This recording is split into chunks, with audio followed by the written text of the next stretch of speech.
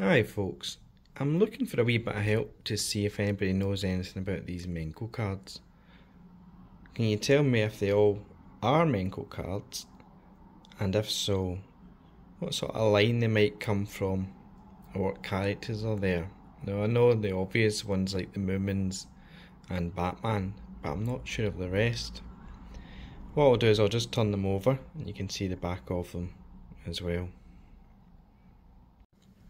So this here is the back of the Menko cards. Now this is lot one. I've actually got another lot that are smaller. Now you see the back of the Batman card is blank. It looks like someone's glued multiple cards together just to make it heavier for playing the game. But if you've got any information on these folks, you let me know in the comments please, just so I can know where to start even. I'll show you a lot 2 now as well, of the thinner cards I've got. So this is the second lot of Menko cards that I've got which are thinner um, and look to be war related, um, although there is some sci-fi of up the top here.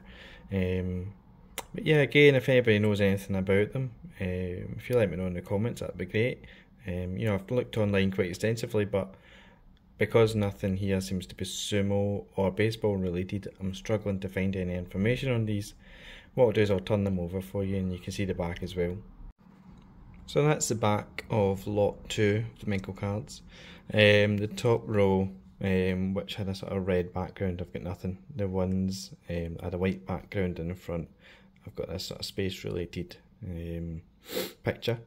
I don't know if there's any significance between the red and the blue either. But yeah, if you know anything about them, uh, pop it in the comments. I'd be very grateful. Thank you.